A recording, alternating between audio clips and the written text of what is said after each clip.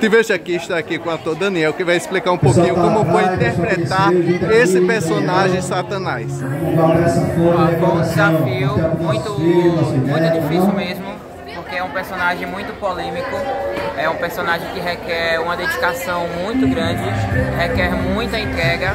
E graças a Deus eu tive o apoio de todo o pessoal do elenco, tanto emocional como espiritual, porque também agrega muito muita, sabe? Mexe com muita coisa.